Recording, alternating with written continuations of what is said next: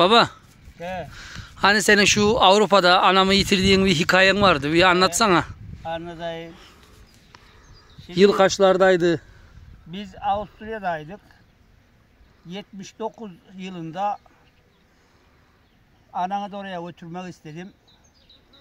Oradan uçak biletlerini aldım. Türkiye'ye gönderdim. Türkiye'de de ayın 18'inde gerisine göre Almanya'ya gelecek anan uçak biletinde öyle yazıyorum. Ben de ayın 18'inde Münih'e gittim. Dedim orada anan gelecek oraya. Münih'te havalanına vardım. Havalanında beklerken bir uçak geldi Türkiye'den. Seyrettim uçağın karşısında bizi polisler içeri almıyor. Baktım uçaktan indiler.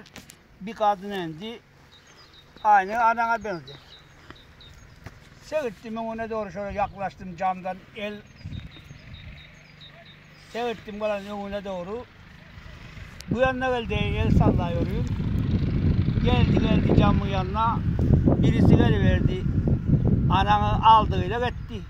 Ana ulan bu dedim bizim karıydı. Tabii yüzünde bir çillik var gibi bir şey olmuş. Acaba dedim iki senedir ben görmüyorum bizim avrat değişti mi ki diyorum. Adam götürdü gitti. Herhalde dedim bizim avradı ama yüzünde çillik var bir. Giyimi meyimi aynı bizim köyün giyiminden. Anağın giyiminden. Seyrettim şöyle önünü kestim onların bir baktım. Adam benden huylandı bana terslik bir baktılar.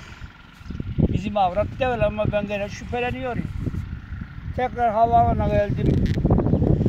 Bir uçak daha gelecek dediler. O uçağı takip ettim. Uçakta da geldiler ama hiçbir köylü bir kadını bir kimse yok.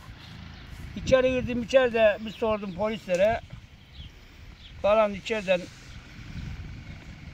4-5 kadın var. Hep sosyeti bu kadın. Oradan çıktım. Ya ne yapayım ne yapayım karıyı dedim kaybettik kendi kendime bir üzüntü gördüm bana. Bu sefer oradan Münih'ten Avusturya'ya geldim. Avusturya'da bir telgraf çektim köye. Telgrafta o zamanın parasıyla 130 mark para verdim. Sabahleyin oldu.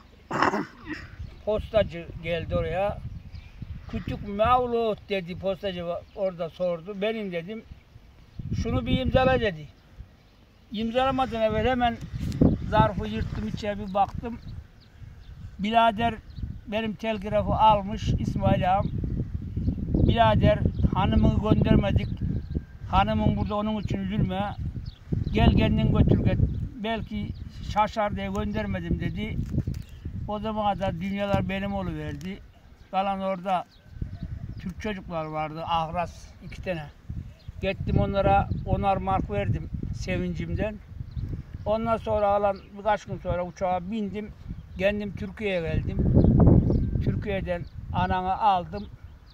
Avusturya'ya götürdüm gittim. O da orada 13 ay kaldı.